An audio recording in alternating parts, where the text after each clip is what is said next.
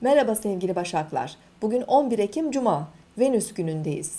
Bugün Ay Oğlak Burcu'nda ilerliyor. E, duygusal hayatınızı, e, günlük hayatınızı olumlu etkileyecek bir pozisyonda ilerliyor. Günün ilk yarısında bazı şartlar uygun olmayabilir. E, gün içerisinde yapmanız gereken sorumluluklar öne çıkabilir. Ancak öğleden sonraki saatlerde ve akşam saatlerinde özellikle duygusal ilişkilerinizde e, daha tatmin edici gelişmeler yaşayabilirsiniz. E, özellikle boş vaktinizi e, sevdiğiniz kişiye ayırmanız ve onun istediği e, tercihler doğrultusunda birlikte program yapmanız e, günün ilerleyen saatlerinde sizi de mutlu edecektir.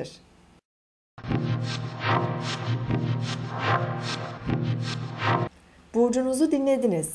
Bugün 11 Ekim Cuma. Venüs günündeyiz. Ay Oğlak Burcu'nda ilerliyor.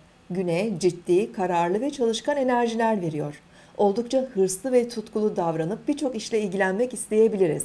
Özellikle sabah saatlerinde Ay önce Plüton'la kavuşacak ve e, ardından Uranüs'le kare açı içerisinde olacak. E, bu enerjiler öncü grup burçları biraz zorlayabilir. Koç, terazi, yengeç ve oğlak burçlarının biraz dikkatli olmaları gerekiyor. Duygusal olarak e, üzerlerinde biraz baskı hissedebilirler, gerginlik hissedebilirler, ani reaksiyonlar oluşabilir ilişkilerinde. E, bunun yanı sıra güçlü ve kararlı bir şekilde e, işleriyle de ilgilenebilirler. E, öğleden sonra etkiler biraz daha yumuşayacak. Ay Satürn'le ardından e, Merkür'le olumlu açılar yapmaya başlayacak. Bu günlük işlerimiz ve ilişkilerimiz açısından destekleyici olacaktır.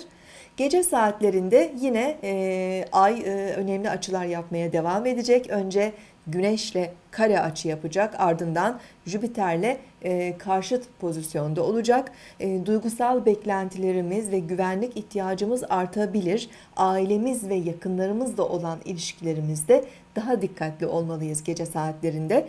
E, gece 03.06'dan itibaren ay boşlukta olacak. Yarın tekrar görüşmek üzere. Hoşçakalın.